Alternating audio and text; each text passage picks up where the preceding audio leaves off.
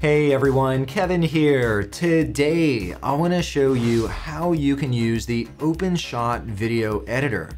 OpenShot is free and open source. Oh, but hold up, it's free. Is it any good? Well, I've tried lots of paid and also free video editors, and OpenShot sits right near the top of video editors. The thing I like about it so much is that it has a very simple and also intuitive interface. This means that anyone can come in, even someone brand new to video editing, and you can figure it out. But what's really nice is it also has a lot of rich and advanced functionality under the covers. So you can pull together some truly impressive videos. Regardless of your operating system, it'll work for you. It works on Windows, Mac, Linux, and now also Chrome OS. If you want to follow along today in this tutorial, I've included some sample files down below in the description. The best way to learn is by doing. Also, I've included some timestamps down below so you can jump to the section of the video that interests you the most. All right, well, why don't we jump on the PC and let's start with how you can even get OpenShot. To get the OpenShot video editor, open up your web browser and head to the website openshot.org. Once you land on the home page, you should see a download button right here in the center of the page. You also have a download link right up here. Go ahead and click on that. On the download page, it should automatically identify what operating system you're on. Here I'm on Windows and it also recommends a 64-bit installer. However, if for whatever reason you're looking for a different download, like I mentioned in the intro, you can install OpenShot on any major platform. Here you see all of them down below. To kick off your download, just click on download and run through the install process. Once you finish downloading and installing OpenShot, open up the application. Once you open it, you'll land in an interface that looks like this. If this is your first time using OpenShot, you'll also see this welcome message or call out right in the center of the screen. And when you click through this, it'll point out all of the major areas of the interface. Over here on the left-hand side, we have project files, and this is where we're going to load up all of our video, audio, and image files. In a moment, we'll do that. I'll click on next, and down below we have the timeline. This is where we start to pull together our video and to lay things out in the order that we want them to appear. And right up here, we also have the preview pane where we'll be able to see what our video looks like. And finally, once we pull everything together, we'll be able to export our video. Now don't worry, we're gonna run through all of this step by step so you can see exactly how it works. To get started, we wanna import some files into OpenShot. Right up over here, we have our project files and we wanna get some video and audio files in here.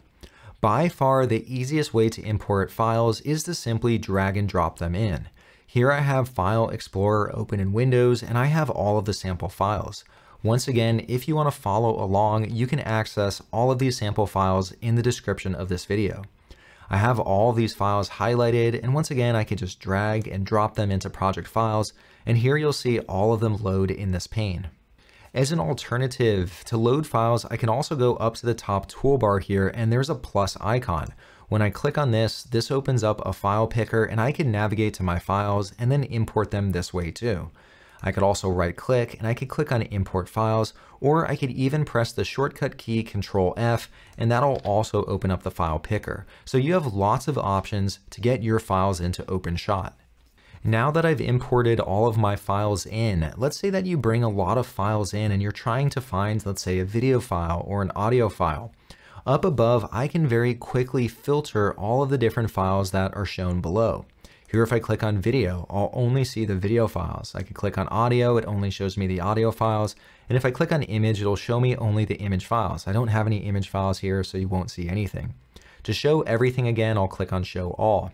Also right over here, I have a search field and I can very quickly search for specific files in the project file set.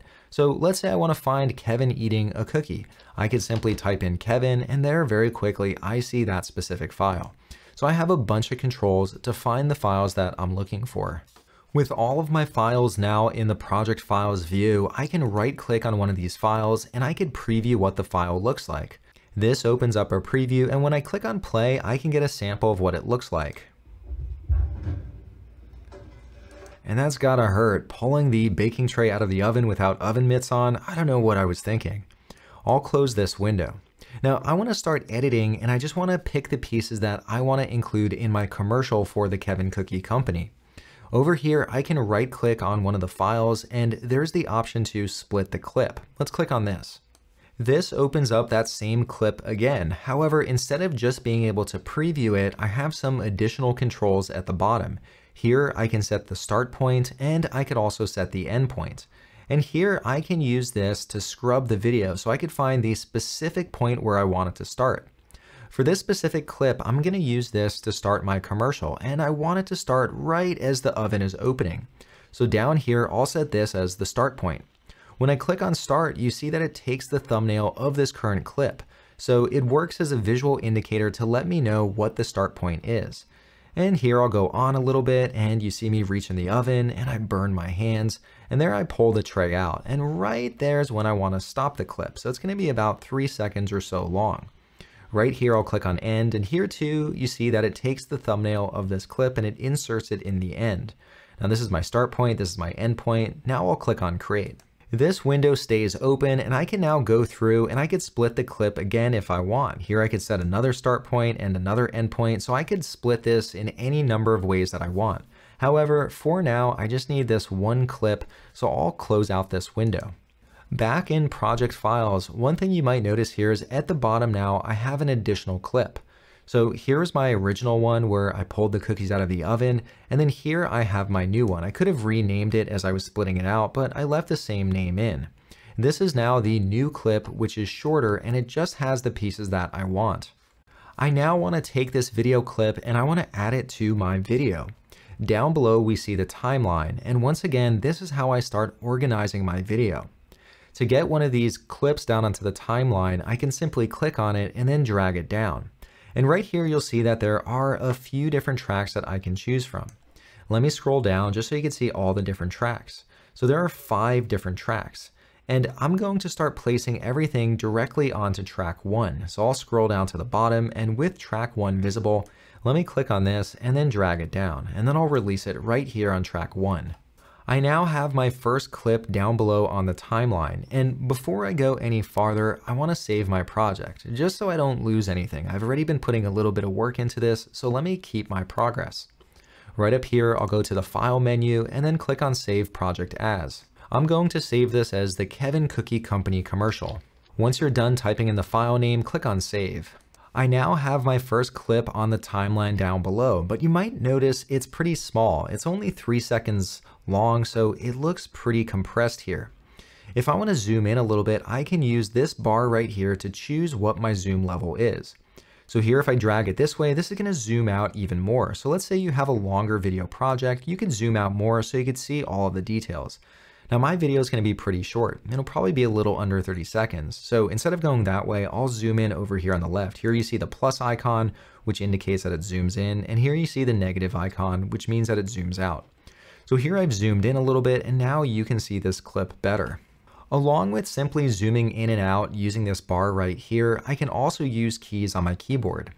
Here, I could press the equals sign and that'll zoom in even more. I'm zoomed in all the way right now. I could also press the minus sign to zoom out. So here I'm zooming out and then I'll press the equals sign to zoom in.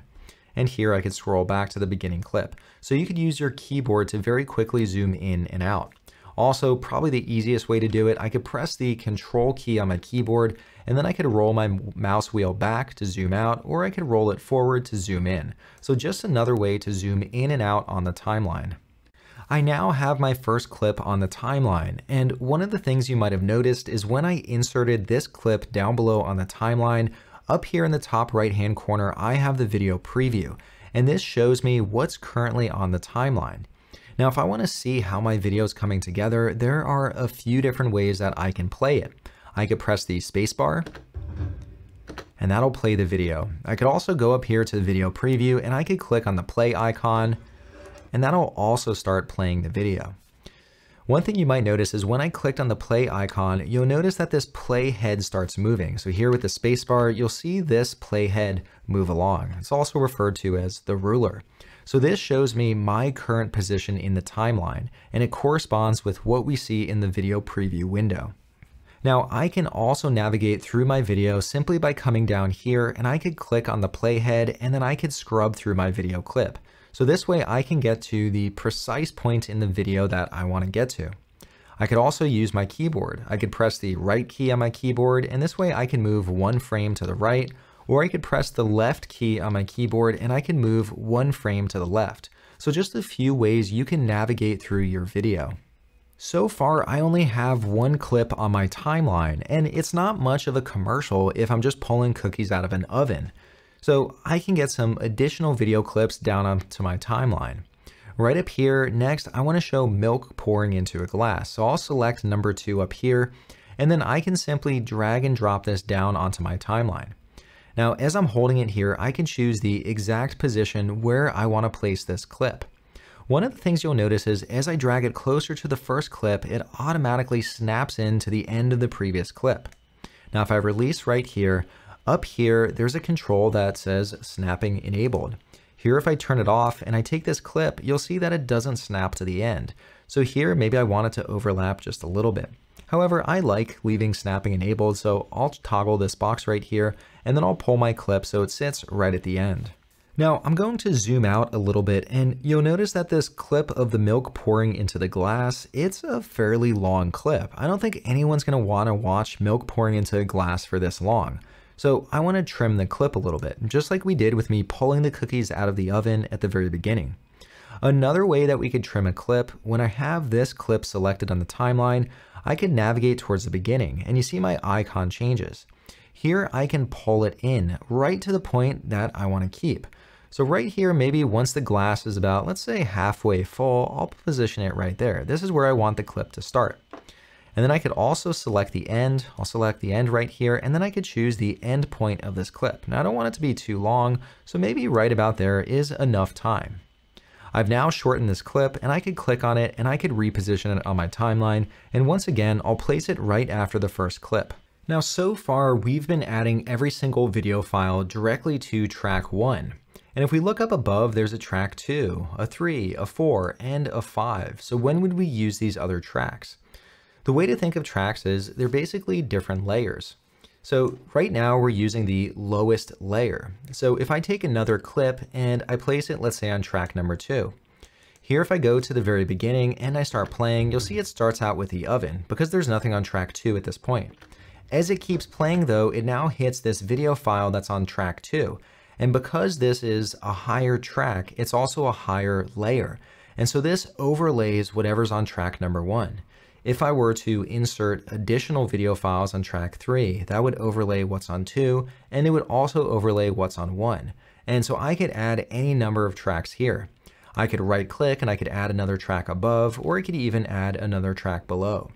Here I can rename tracks, maybe that helps me keep things a little bit more organized. If I don't want a track to change, I could lock it, and I could also remove excess tracks. Now, I don't need this many tracks. This is just a pretty simple video project. So I could right click here and I could go to remove track. This will just clean up my view just a little bit. I only need two tracks for this project, so I'll remove all the other tracks. I also don't want this on track two, so I could click on this file and I'll just drag it down to track one and then position it right here. I'll use track two for my audio. So I could right click here and let me go to rename track and I'll call this audio. Next, I'll click on OK. Right down below, just to help me organize things, I'll right click here and let me rename this to video. Next, I'll click on OK. So far, I've been bringing all of my different clips onto the timeline simply by clicking on it and then dragging and dropping it onto the timeline. However, I do want to show another way that you can use to get your clips onto the timeline. First, I'm going to position my playhead at the very end here, and then I'll go up and let me click on to file number four. Here, I'll right click on it and right down here, there's the option to add to timeline. Here too, you'll also see the shortcut key. Let's click on this. This opens up a prompt where I can add this clip to the timeline. Here I can see the start time and this currently matches where my playhead is.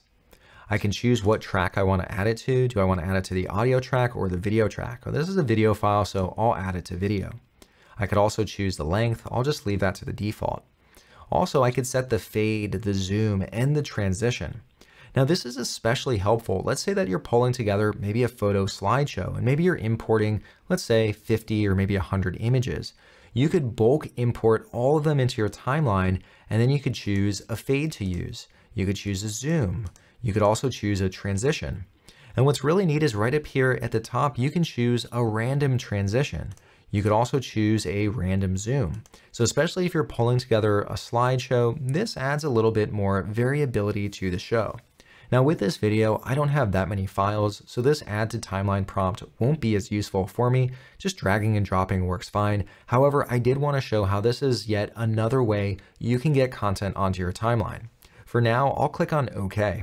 And there you see that I just inserted my new file. Now there is a little bit of a gap between these files, so I'll drag that and then place it right at the end of the previous clip. With these new clips on the timeline, you'll probably notice that they're fairly long compared to the first two, and that's because I haven't yet cut them down. So here you see that I'm filling up the milk glass, and right here it's about halfway full. And then as I transition to the next clip, well, here it's filling up from the very bottom again, and I wanted to pick up from where this other clip left off. So here I'll go along, and maybe I want this the clip to start right about here. So we looked at one way where I could simply drag and drop the end of this to basically trim my clip, but I want to show you a few other ways that we can also trim the clip. Right up here we have all of these different tools, and when I hover over this one, this is called the razor tool.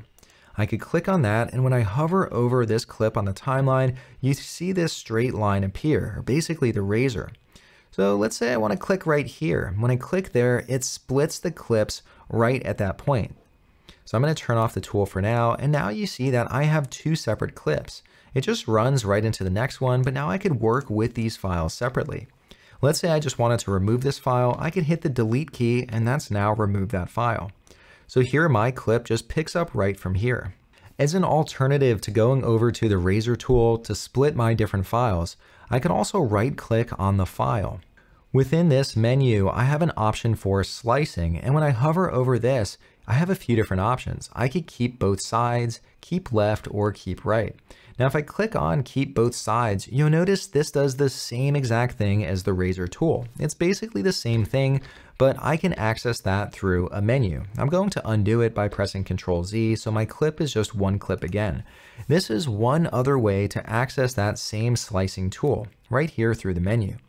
Now, instead of clicking onto this menu and clicking on keep both sides, and instead of navigating over to the razor tool, I could also press Control K on my keyboard.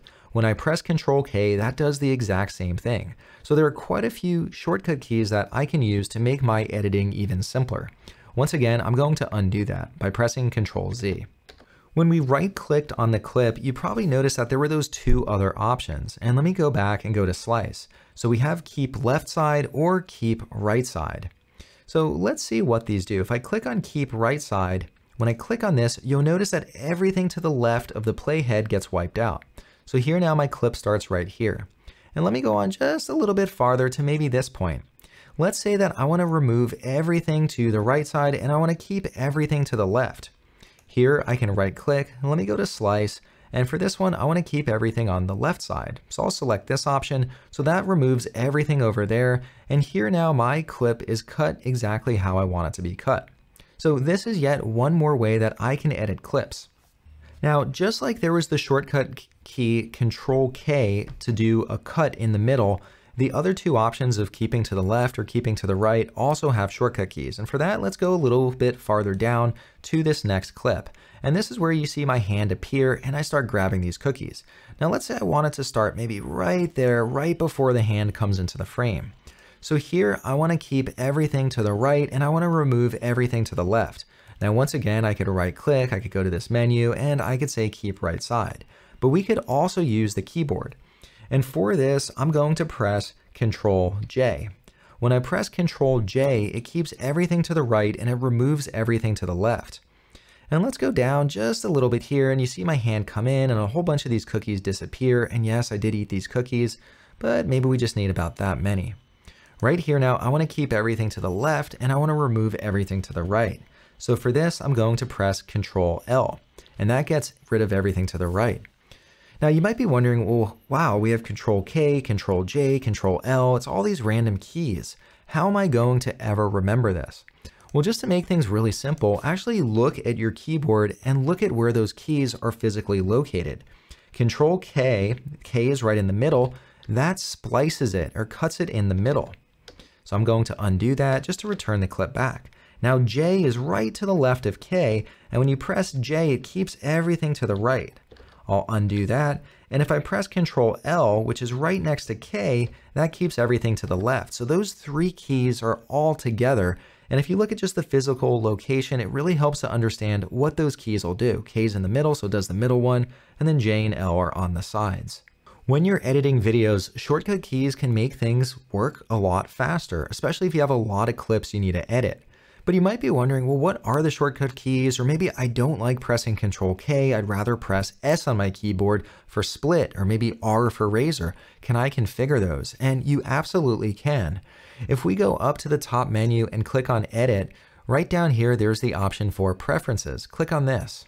Within Preferences, we have all of these different tabs, and all the way over on the right-hand side, there's the option for Keyboard. When we click on this, here you can review and see what all of the different shortcut keys are for OpenShot. And here are the shortcut keys that I called out. You have the Control K, the Control L, and Control J. And you could change these to whatever you want them to be. It also has some of the other shortcut keys that we looked at, like the equals and the minus sign for zooming in and out. So you could take a look at these, and once again, these will really help speed up your editing time. All of these defaults look good to me, so I'll close this out for now. I've now trimmed both of these clips to the exact length that I want them. Here I'll scroll to the left and I could simply drag and drop the file and there once again you notice the snapping. And here I'll drag the next file and I'll pull this down as well. Now so far I've been placing every clip so it just sits on the end. What if I pull the clip over? Here I'll take the fourth clip and I'll drop it so it sits over the third clip. And when I do that, you see this weird rectangle appear. What is that? If I go back here, I'll place the playhead right so it appears here on the timeline, and then I'll play it. You'll notice that it fades. So when I drag one clip and I place it over another clip, it'll automatically apply a fade transition. Any type of overlap between clips automatically creates a fade transition. But let's say maybe I want a different transition. I could click on the fade right here and I could press the backspace key and that'll remove the fade. Now if I play it right from here, you'll notice that it's just a hard cut between the clips. Right up here, I can click on transitions. And here I have a wide variety of different transitions that I can choose from. Let's say for instance that I want to apply a circle in to out transition. I can simply click on this one and then I'll drag it down to my timeline. I'll place it right in between these clips. Here you'll see that the transition by default is pretty long. Just like we could do with one of the clips, I can click on the end and then I could drag it in just so it covers the overlapping portion of these clips. I'll place it right about there. Now, if I play my video, let's see what this looks like. Here you'll notice that I now have a new transition between these clips. So it's pretty easy to choose whatever transition you want, and then you could switch between your clips in a seamless way. If I go back through my video now, let's click on this clip where you see the milk pouring in the glass. That looks like a pretty nice vibrant shot. If I go to the previous one, this isn't quite as bright and as vibrant as the next one, so they don't really seem like it's from the same shot. If I go over here, we have a third tab for effects. We started with project files, then we clicked into transitions, and now we have effects. Here too, we see a quick description of what we could find here. I'll click on next. And here we see all of the different effects that we can choose from. And I think if I increase the brightness a little bit on this clip, it'll better match the next one.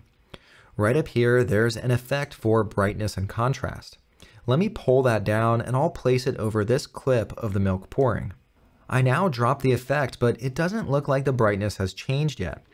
Here though, I see that it inserted this B icon for brightness. Here I can right click on that and we can go into properties. This opens up a prompt, I'll click on next, and here I see all of the different brightness properties that I can adjust. Here I can adjust the brightness and the contrast. Right now the brightness is set to zero, however I can drag and drop it over and maybe I'll do a brightness of 0.09. That looks a lot more vibrant. So here now if I play it, it more closely matches the next clip in the timeline. So that looks pretty good. So this is one way you could quickly apply different effects to your different video files. I now want to go through and I want to add the remaining clips. I've added four clips here so far and I have a bunch more.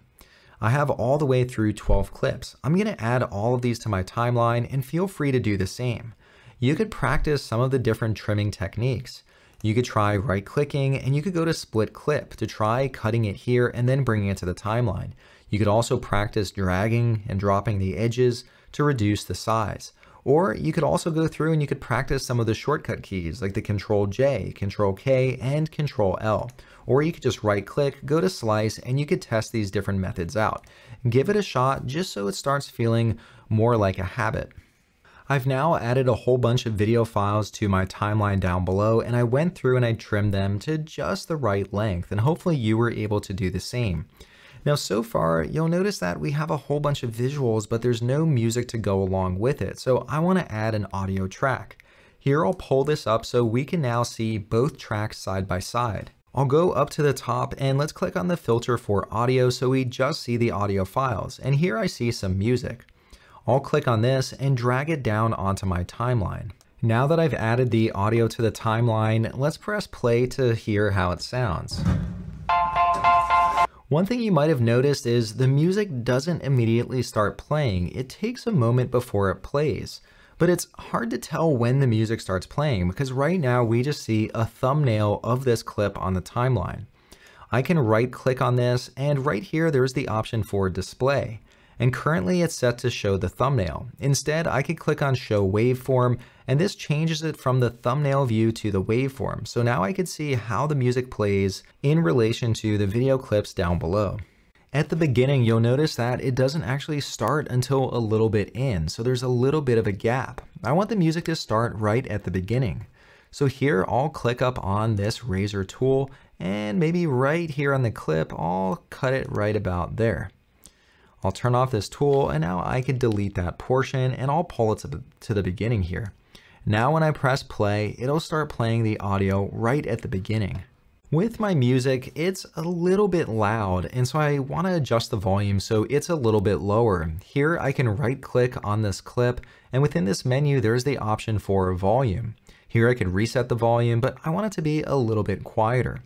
So here I'll go down and for the entire clip, let me go at maybe 80% of the volume. I'll select that and I think that'll sound a little bit better. One thing you'll see is as I'm zoomed out here, the music goes on a lot longer than my video goes on for. So I'm gonna go right to the end of the video here and I wanna cut off the music at this point. Now, just like we've been editing all of our video files, we can also edit the audio file the exact same way.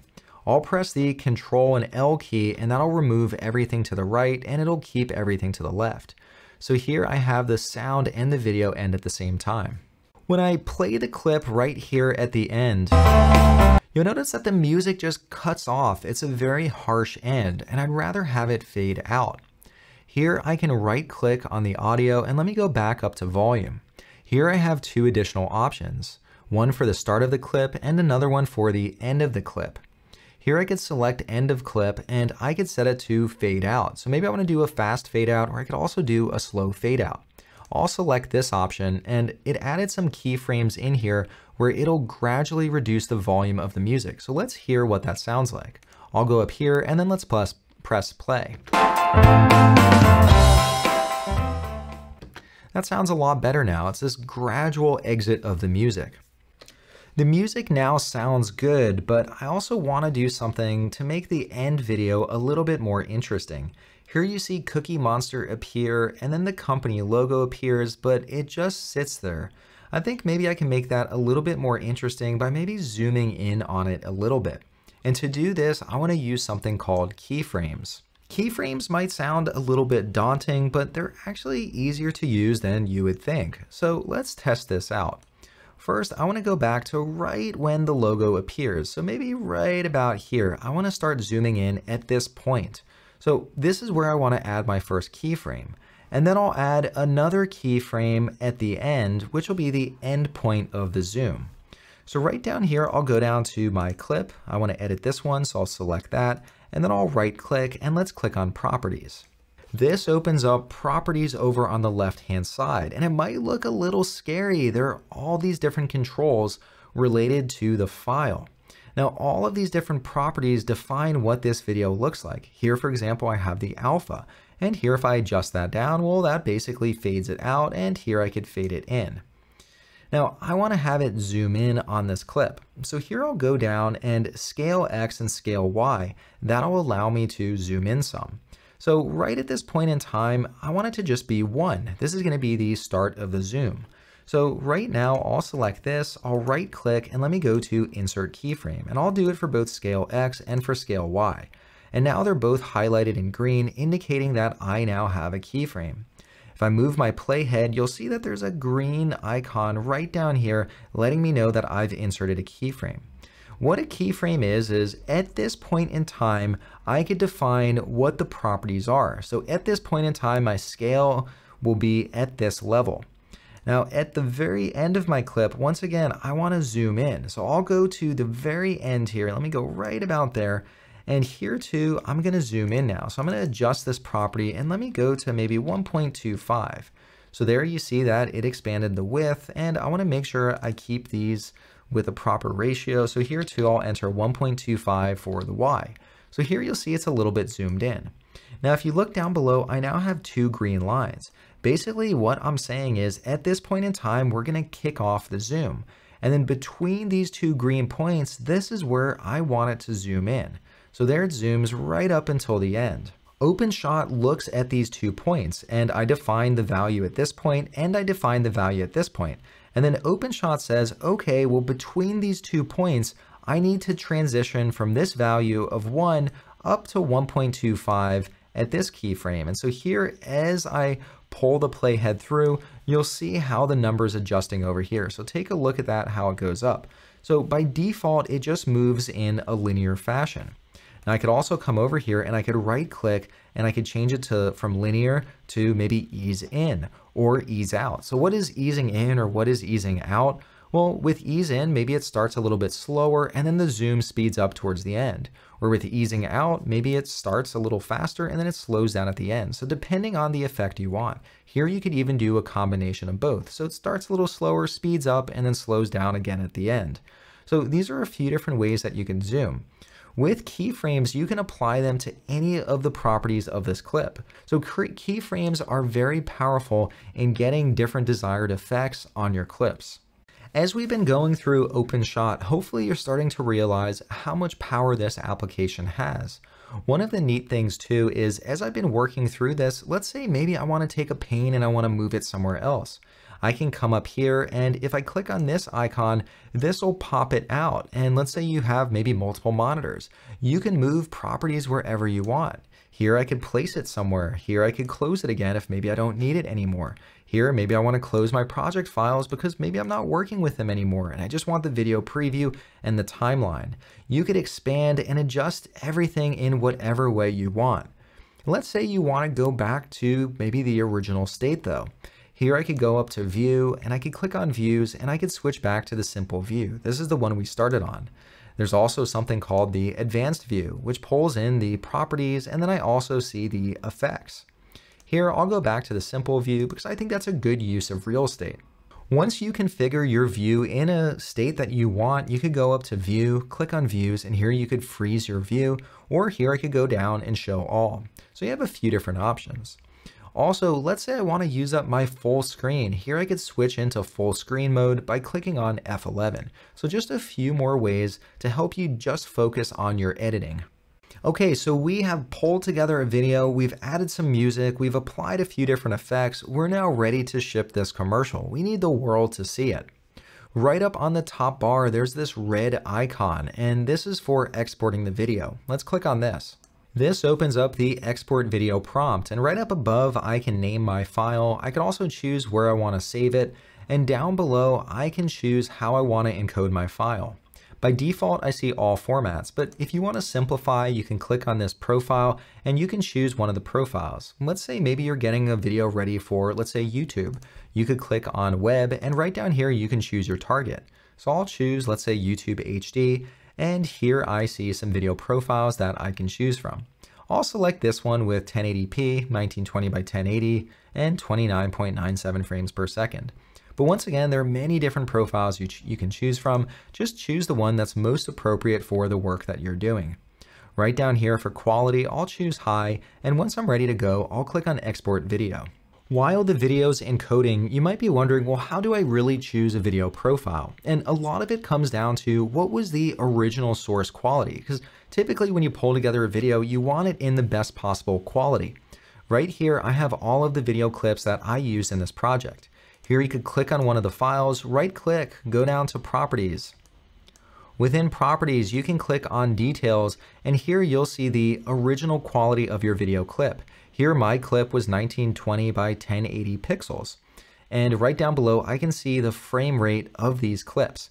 So that's the reason I chose these settings for my project, because it matches my source clips, and I wanted to maintain the best possible quality. And look at that, right now I'm at 100% and my video is now complete. Let's click on done and let's watch how it turned out.